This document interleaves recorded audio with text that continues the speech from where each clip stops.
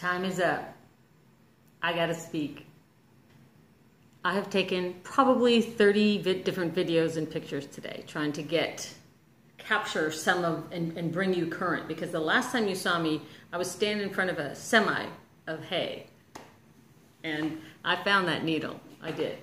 But uh, yeah lots has happened and unplanned things. And it it's it's fun. It's good. See you in a little bit the video you're about to see is just a bunch of collection of pictures and trying to tell you the story of like what happened. And I mean, I didn't take that many pictures and videos, but I do have enough to kind of carry through a story. So this video is basically mostly April, and then the next one will be May, and then and then June. So it'll take two or three videos to bring you up to date, and then we'll start over. Start over. Oh, I think I think I know. Look, these snap in. I bet you. Oh my God, this is so high. Don't these have little buttons that are supposed to pop out? hmm? There. And I'm off to go get some hair color and scissors because the wind and this hair does not go together. They, they're just not compatible or I'll find ways to, um, you know, keep it secure.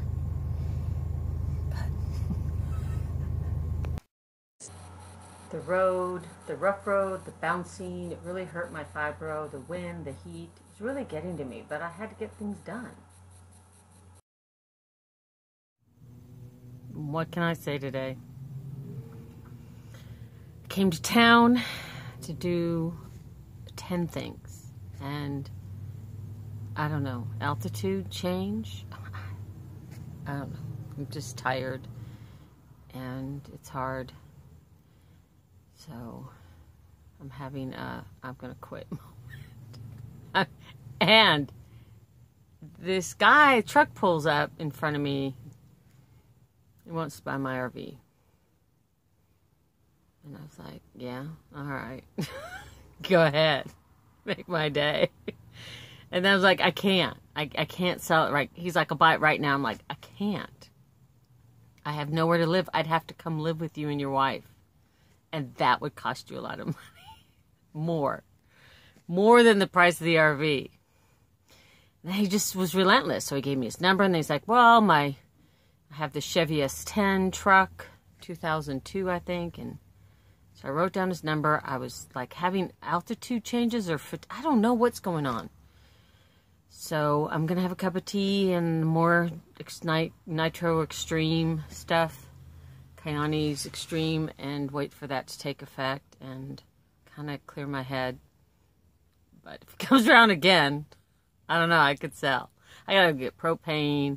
I have to go dump. I have to go get groceries.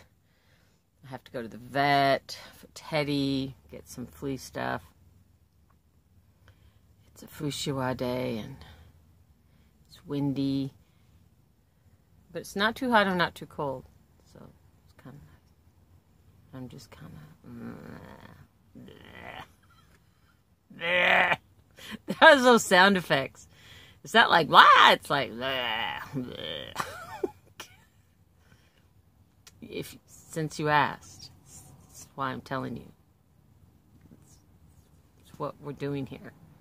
I'm telling you what it's like to live in an RV today when you don't feel good and the noise and the the sound of the city and the I can feel the noise in my chest.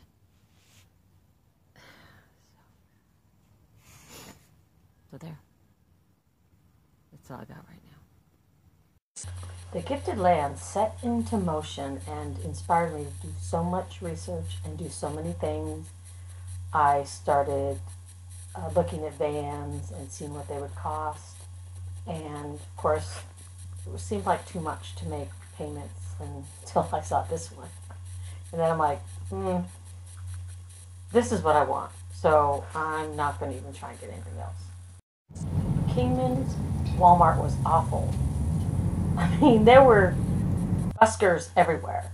Santa was cool, but you know, there was like 20 of them and they're aggressive. And then I watched a hit and run and I had to get the guy's video and license plate and then wait for the cops and it just wasn't the day that I needed to deal with so much drama.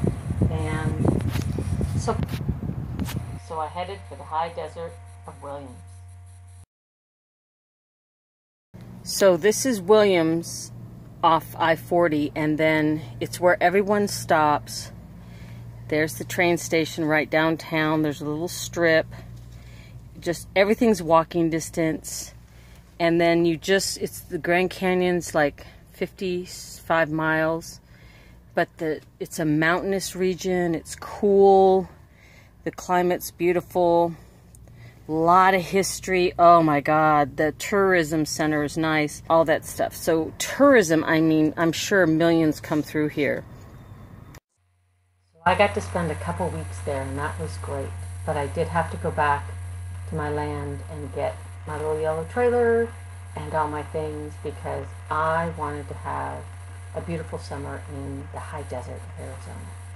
And I was working on a great big plan and it was good. I never really got to see or eat or go out in Williams, but it was beautiful. And had historic stuff too. Just like a replica of a little old western town So I went back to my land and I loaded up my little yellow trailer and I put my hitch inside and I was loaded and I took off. But then there was a little bit of a problem. So there it sits. I have no idea what to do, but I'll think of something.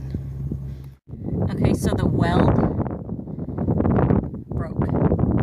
So the trailer started dragging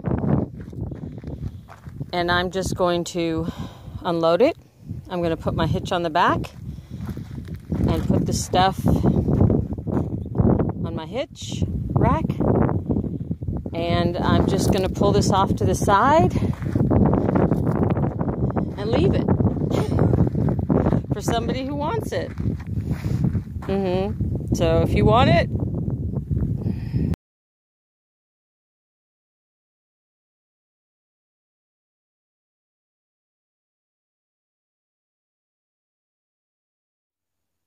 Well, I really fell in love with going to the high desert or the mountainous regions of Arizona.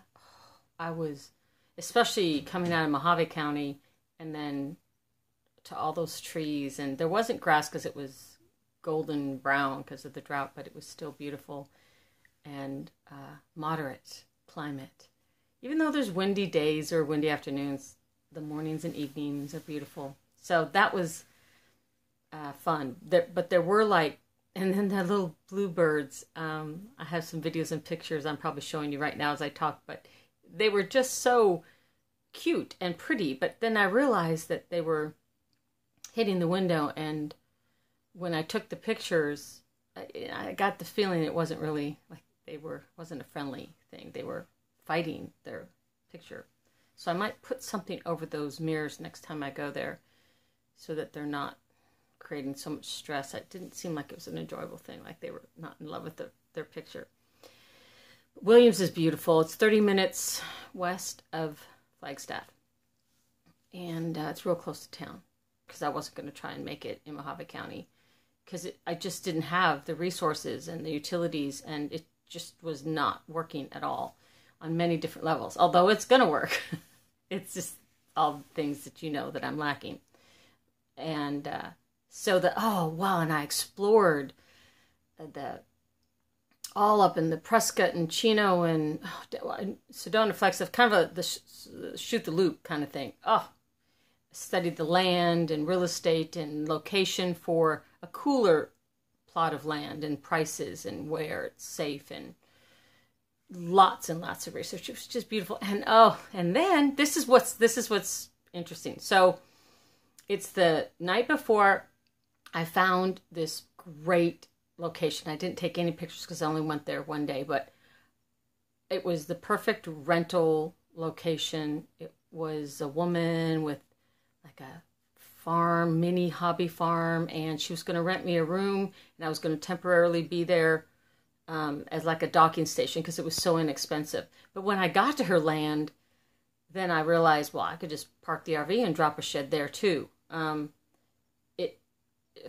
so, but what was interesting because I had spent a month working on this idea of, and it's only two hours from the gifted land, so that's really like you can just go back and forth every week if you want to, based on weather, whatever's better. Because sometimes the wind will blow for days eh, or if it's too cold in the high desert. So I think I have found a good Arizona plant. And then, and then, and then.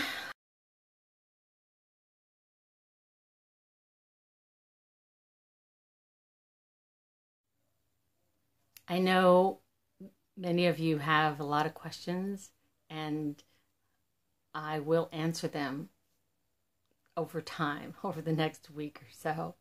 I uh, I have a lot of answers, so don't worry about that.